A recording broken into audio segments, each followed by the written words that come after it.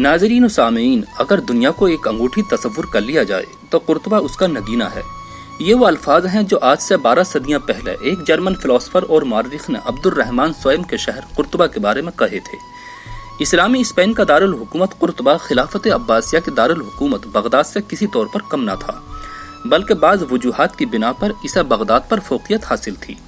शहर की आबादी दस लाख के आस पास जिसमें दो लाख से ज़्यादा रिहायशी मकान थे। आला क्वालिटी की बनी पाइप लाइनों की मदद से इतने वसी वारिस शहर को पीने के ताज़ा पानी की फराहमी इस दौर का अजीम कारनामा था। कुर्तबा में अस्सी हज़ार चार सौ दुकानें, जिसमें तकरीबन बीस हज़ार कुत फरोशी और उससे मुतल कारोबार के लिए वक्फ थी। कुर्तबा यूरोप के दौरे जाहिरियत के दौरान एक अजीम शान इलमी मरकज के तौर पर उभरा। शहर में तीन हज़ार मसाजिद, जदीद तालीम के लिए अस्सी कॉलेज, पचास हस्पताल सात सौ हमाम और गले को महफूज रखने के लिए तैतालीस सौ गोदाम थे। मीलों की तवील सड़कें पुख्ता पत्थरों से बनी थीं।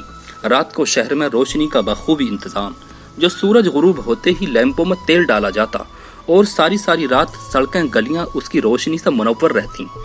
ये उस दौर का एक नाकाबिल यकीन अजीम कारनामा था। इस्लामी स्पेन की तहजीब आज से बारह सदियाँ कबल, तरक्की की इस ओज पर फाइज थी।